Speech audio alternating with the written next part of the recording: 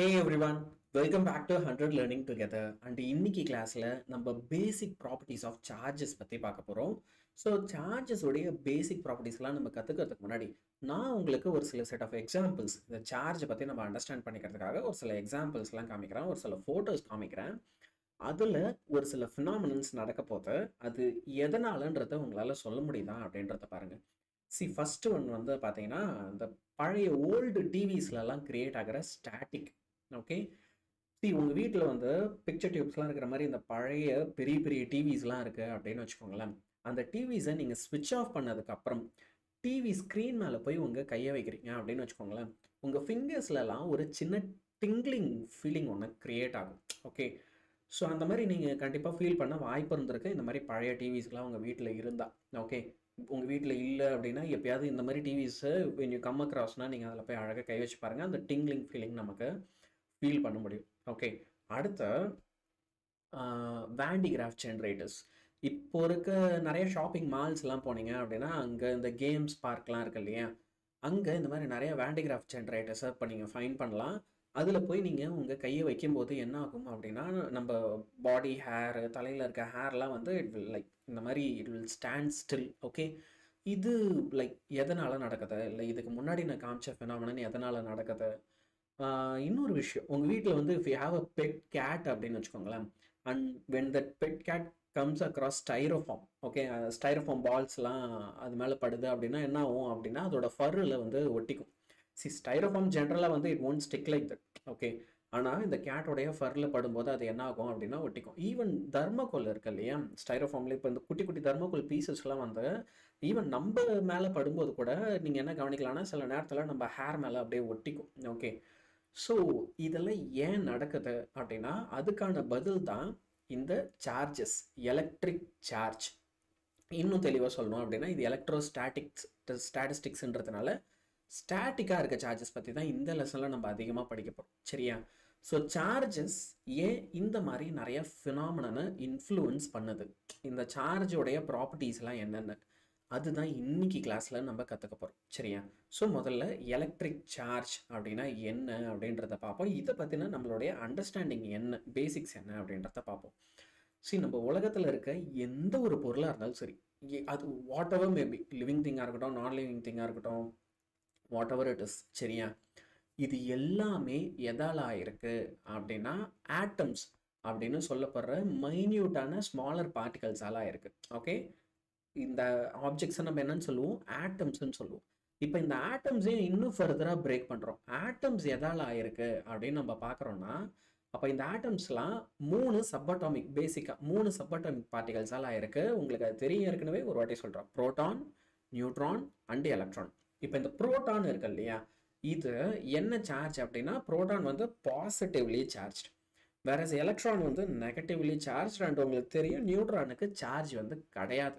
Okay so இந்த positive charge negative charge அந்த charge okay so இந்த சார்ஜ் எல்லாம் ப்ரொசஸ் பண்ணுறவங்க யார் அப்படின்னா ப்ரோட்டான்ஸும் எலக்ட்ரான்ஸும் தான். நம்மளை சுற்றி எல்லாமே ஆட்டம்ஸால் இருக்குது அப்போ நம்ம எல்லாருமே இந்த சார்ஜஸால் வி ஆர் சரவுண்டட் இந்த ஒரு விஷயத்த நீங்கள் நல்லா கிராஸ் பண்ணிக்கோங்க. சரியா?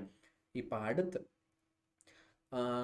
இந்த சார்ஜஸை பற்றி ஒரு முக்கியமான ப்ராப்பர்ட்டி என்ன அப்படின்னா கன்சர்வேஷன் ஆஃப் சார்ஜ் இந்த சார்ஜ் நம்மளை சுற்றி இருக்குல்ல இது வந்து can neither be created nor be destroyed புதுசாக உருவாக்கவும் முடியாது ஏற்கனவே இருக்கிறத நம்மளால் டிஸ்ட்ராய் பண்ணவும் முடியாது. ஸோ இது என்ன? அப்படி கெனாட் பி டிஸ்ட்ராய்ட்னா என்ன? கெனாட் பி கிரியேட்னா என்ன? அப்படின்றத முதல்ல புரிஞ்சுக்கலாம். சி பெஞ்சமின் ஃப்ராங்க்லின் இருக்கார் இல்லையா? அவர் வந்து ரொம்ப சிம்பிளான ஒரு எக்ஸ்பெரிமெண்ட் ஒன்று கண்டக்ட் பண்ணுறாரு நீங்கள் கூட இதை ட்ரை பண்ணி பார்க்கலாம்.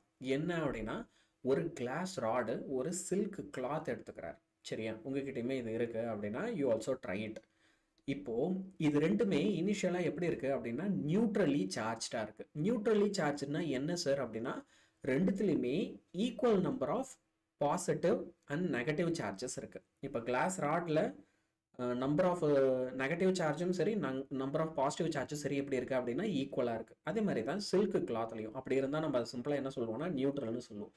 ஸோ இந்த மாதிரி நியூட்ரலாக இருக்க ரெண்டு மெட்டீரியல்ஸ் எடுத்துக்கிட்டு சில்க் கிளாத் எடுத்து என்ன செய்ய போகிறோம் அப்படின்னா கிளாஸ் ராட் மேலே நம்ம ரப் பண்ண போகிறோம் ஓகே நல்லா ரப் பண்ணி முடிச்சுட்டு திரும்ப எல்லாத்தையும் எடுத்து எட்ட வச்சிருவோம். அப்படி வைக்கும்போது நீங்கள் என்ன கவனிக்கலாம் அப்படின்னா ஸோ இப்போ இந்த கிளாஸ் ராடில் வந்து இனிஷியலாக N number of positive and negative charges இருக்குது அப்படின்னா ரப் பண்ணி முடிச்சதுக்கப்புறம் ரெண்டு காண்டாக்டில் வந்ததுக்கப்புறம் என்ன இருக்கும்னா இந்த கிளாஸ் ராடில் இருக்க நெகட்டிவ் சார்ஜஸ் இருக்கு இல்லையா? அது எல்லாம் அப்படியே சில்க் கிளாத்துக்கு ட்ரான்ஸ்ஃபர் ஆகிருக்கும் விச் மீன்ஸ் இப்போ கிளாஸ் ராடில் வெறும் பாசிட்டிவ் சார்ஜஸ் தான் இருக்கிறதுனால இந்த கிளாஸ் ராட் இப்போ என்னவாயிடுச்சுன்னா பாசிட்டிவ் ஆயிடுச்சு. இங்கேருந்து நெகட்டிவ் சார்ஜஸ் எல்லாம் யார் அக்வயர் பண்ணால் சில்க் கிளாத் அதனால it became what it became negative okay ஆனால் டோட்டல் நம்பர் ஆஃப் சார்ஜஸ் இப்பயும் அப்படியே தான் இருக்கா? அப்படின்னு பார்த்தீங்கன்னா எஸ் ஃபஸ்ட்டு டோட்டலாக கிளாஸ் ராடு கிட்ட எவ்வளோ positive negative charge total number என்ன இருந்ததோ அதுதான் என்ன ஆயிருக்கு அப்படின்னா இப்போ இவங்க ரெண்டு பேருக்கும் நடுவில் ஈக்குவலாக டிவைட் ஆயிருக்கு. எங்கேருந்தோ புதுசாக ஒரு நெகட்டிவ் சார்ஜோ புதுசாக ஒரு பாசிட்டிவ் சார்ஜோ கிரியேட் ஆகலை. ஸோ இங்கே அப்சர்வ் பண்ண இந்த சின்ன ஃபினாமினனை தான் இப்போது நம்ம எப்படி படிச்சிருப்போம் அப்படின்னா அந்த இங்கேருந்து படிக்கிறோம் பாருங்க. நீங்களும் அப்படியே என் கூடவே வாங்க.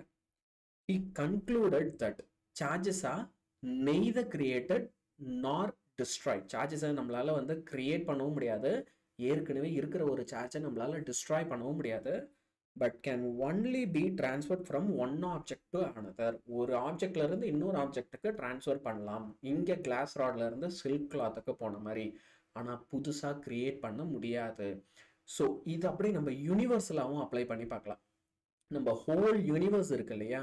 நம்ம ஹோல் யூனிவர்ஸில் இருக்க டோட்டல் சார்ஜ் என்றைக்குமே எப்படி இருக்கும் அப்படின்னா கான்ஸ்டண்ட்டாக தான் இருக்கும். இவ்வளோ பெரிய யூனிவர்ஸில் சார்ஜ் எப்படி இருக்குது கான்ஸ்டண்ட்டாக தான் இருக்கு. நம்ம என்ன நினைச்சாலும் நம்மளால என்ன பண்ண முடியாது. புதுசாக ஒரு சார்ஜை கிரியேட் பண்ணவோ டிஸ்ட்ராய் பண்ணவோ முடியாது. ஓகே ஸோ இப்போ இதை அழகாக நம்ம புக்கில் கொடுத்துருக்க ஸ்டேட்மெண்ட்டு இது இப்போ ஒரு வாட்டி படிச்சு பாருங்க உங்களுக்கு சூப்பராக புரியும்.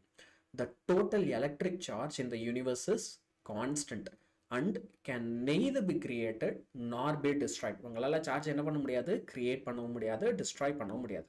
இன் எனி ஃபிசிக்கல் ப்ராசஸ் இப்போ நம்ம பார்த்த இந்த கிளாஸ் ராடு சில்க் கிளாத் மாதிரி எந்த physical process எடுத்துக்கிட்டிங்கனாலும் the net change in charge will always be zero net charge என்ன ஆகாதான் சேஞ்ச் இன் சார்ஜ் ஜீரோவாக தான் இருக்கும் அப்படின்றாங்க. சார்ஜஸ் வந்து இன்க்ரீஸும் ஆகாது டிக்ரீஸும் ஆகாது. ஸோ டெக்னிக்கலாக சார்ஜஸ் சேஞ்சே ஆகாது அப்படின்னு சொல்கிறாங்க ஓகே ஸோ இப்போ அடுத்த டாபிக் வந்து என்ன அப்படின்னா குவான்டைசேஷன் ஆஃப் சார்ஜ் சார்ஜஸை குவான்டைஸ் பண்ணுறதுனா என்னது அப்படின்றத பற்றி பார்ப்போம். சி ரொம்ப சிம்பிளாக I have to break it down charge வந்து குவான்டைசேஷன் அப்படின்னா என்னென்னா ஒரு பர்டிகுலர் கிவன் ஆப்ஜெக்டில் டோட்டலாக எவ்வளோ சார்ஜ் இருக்குன்றத கால்குலேட் பண்ணுறது தான் குவான்டைசேஷன் இப்போ நமக்கு இருக்கிறதுலே ஸ்மாலஸ்ட் நோன் சார்ஜ் என்ன அப்படின்னு பார்த்தீங்கன்னா சார்ஜ் ஆஃப் ப்ரோட்டானும் எலக்ட்ரானும் தான். அவங்களுடைய சார்ஜ் தான் இருக்கிறதுலே ஸ்மாலஸ்ட் நோன் சார்ஜ் ஸோ ப்ரோட்டானுக்கு சார்ஜை எழுதும்போது இ பாசிட்டிவ் ப்ளஸ்ன்னு எழுதும் வேறஸ் எலக்ட்ரானுக்கு இ நெகட்டிவ் ஓகே ஏன்னா எலக்ட்ரான் தான் நெகட்டிவ்லி சார்ஜ்டு ப்ரோட்டானா பாசிட்டிவ்லி சார்ஜ் இல்லையா? அதை டினோட் பண்ண இ மேலே ப்ளஸ் இல்லை மைனஸ் போடும். ஒரு முக்கியமான விஷயம் என்ன அப்படின்னா both electron as well as ப்ரோட்டானுக்கும் ரெண்டுத்துக்குமே சார்ஜ் ஈக்குவலாக தான் இருக்கும். இதை வந்து மிலிக்கன் அவருடைய ஆயில் ட்ராப் எக்ஸ்பெரிமெண்ட்டில் கண்டுபிடிச்சாரு which will come back to later சரியா? இப்போ ஒரு ஆப்ஜெக்டில் டோட்டலாக எவ்வளோ சார்ஜ் இருக்குன்னு நம்ம கண்டுபிடிக்கணும். அதுக்கு என்ன பண்ணலாம்? The charge q okay of any object is equal to an integral multiple of this fundamental unit of charge e அதாவது ஒரு ஆப்ஜெக்டில் எவ்வளோ சார்ஜ் இருக்குது அப்படின்னு தெரியணும்னா இந்த e ஈன்ற வேல்யூ இருக்கு இல்லையா? அதை இன்டகிரல் மல்டிபிள் பண்ணும். ஸோ என் இன்ட்டு இ அப்படின்னு எழுதணும். இந்த என்னன்னா என்ன சார்னா ஒரு ஆப்ஜெக்டில் டோட்டலாக எத்தனை சார்ஜ் இருக்குது ஒரு எலக்ட்ரானுடைய சார்ஜ் வந்து இ இல்லை ஒரு ப்ரோட்டானுடைய சார்ஜ் வந்து இ அப்படின்னு நம்ம எடுத்துக்கிட்டோன்னா ஒரு எக்ஸாம்பிளுக்கு இப்போ என் கையில் இந்த பென் இருக்குன்னா அப்போ இந்த பென்னில் total number of electrons and protons என்ன ஓகே ஸோ அந்த டோட்டல் நம்பர் சே இதில் வந்து ஒரு டுவெண்ட்டி மில்லியன் ப்ரோட்டான்ஸும் டுவெண்ட்டி மில்லியன் எலக்ட்ரான்ஸும் இருக்குது அப்படின்னா அப்போ என்னுடைய வேல்யூ என்னவாக இருக்கணும்?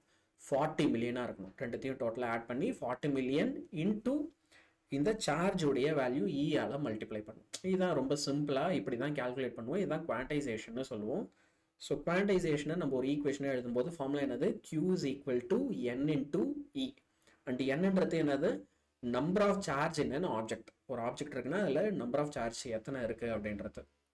இப்போ நான் ஏற்கனவே சொன்ன மாதிரி மிலிகன் ராபர்ட் ஆண்ட்ரூஸ் மிலிகன் அவருடைய ஆயில் ட்ராப் எக்ஸ்பெரிமெண்ட் யூஸ் பண்ணி என்ன பண்ணாரு அப்படின்னா இந்த சார்ஜுடைய வேல்யூ ஈயுடைய வேல்யூ என்னன்றதை கண்டுபிடிச்சாரு.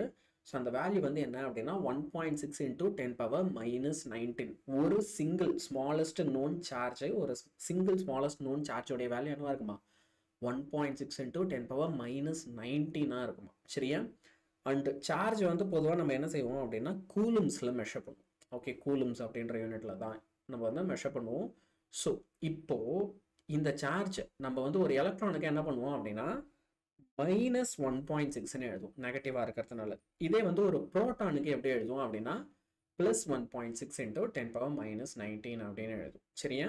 ஸோ எப்படி ஒரு இந்த எக்ஸ்பெரிமெண்ட்டில் இதெல்லாம் ஃபைண்ட் அவுட் பண்ணாரு அப்படின்றதெல்லாம் தெரிஞ்சுக்க ஆசைப்பட்டீங்கன்னா கொஞ்சம் வெயிட் பண்ணுங்கள் கண்டிப்பாக அப்கமிங் கிளாஸஸில் நம்ம இதெல்லாம் நடத்த தான் போகிறோம் அண்ட் இந்த டாபிக் எந்த லெசனில் வரும் அப்படின்னு உங்களுக்கு தெரியும் இல்லையா? இதோட ஆட்டம்ஸ் அண்ட் நியூக்ளியஸ் லெசனில் இந்த ஹோல் ப்ராசஸையும் நம்ம ரொம்ப டீட்டெயில்டாகவே பார்ப்போம் இப்போதைக்கு நம்ம ஸ்டாட்டிக் சார்ஜ் பற்றி மட்டும் கற்றுக்கலாம் ஸோ இப்போது உங்களுக்கு ஒரு சார்ஜ்னா என்ன? அந்த சார்ஜோடைய வேல்யூ என்ன? அது எப்படி கன்சர்வ்டாக இருக்குது அதை எப்படி குவான்டைஸ் பண்ணுறதுன்னு இந்த சின்ன சின்ன கான்செப்ட்ஸ்லாம் அழகாக புரிஞ்சுக்கிட்டு இருப்பீங்க அப்படின்னு நம்புகிறேன் இப்போ அடுத்த வீடியோவில் ஓகே இதை நம்ம இதோட முடிச்சுக்கலாம். அடுத்த வீடியோவில் என்ன செய்ய போகிறோம் அப்படின்னா கூலும்ஸ்லாம் பார்க்க போகிறோம் அதாவது ரெண்டு சார்ஜஸ் பக் பக்கத்து பக்கத்தில் வைக்கும்போது அது ரெண்டுத்துக்கும் நடுவில் ஃபோர்ஸ் ஆஃப் அட்ராக்ஷனோ இல்லை ரிப்பல்ஷனோ இருக்கும்.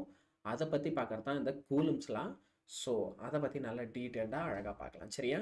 So see you the and goodbye